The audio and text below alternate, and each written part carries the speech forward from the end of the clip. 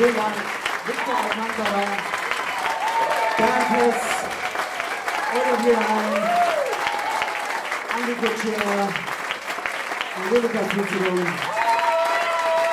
Martin Seliger.